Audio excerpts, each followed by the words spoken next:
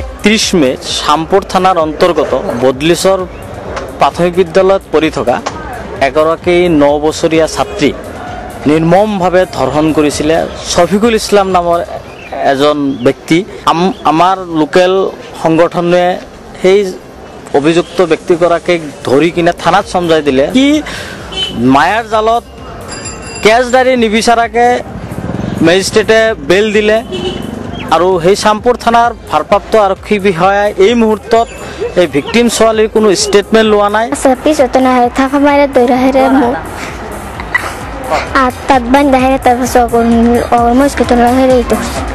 শহীদুল ইসলাম রাহাত আলী। রাহাত আলী।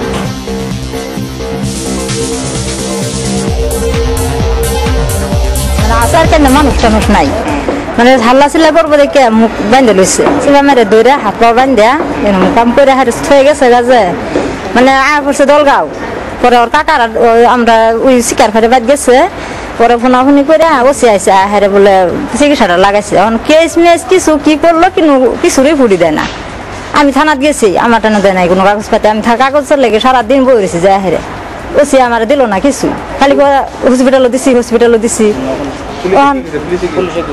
পুলিশের লোকে যায়নি ও সিরবুগুলো কেস লেগছে ও সিরবু নিয়ে গেছি। কি হৈছে কি কয়?